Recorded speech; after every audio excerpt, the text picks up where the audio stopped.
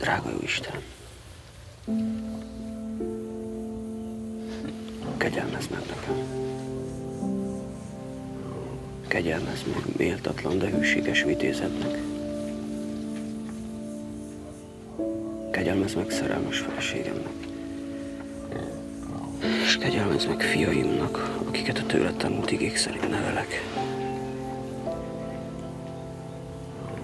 Ne hagyd minket elveszni a semmiben. Adj nekem egy kis elsőt, ezután a száraz nyár után. Adj vizet a földnek, adj vizet a hízóknak, és adj vizet nekünk. Olyan esőt kérek tőled, amilyet még nem láttam.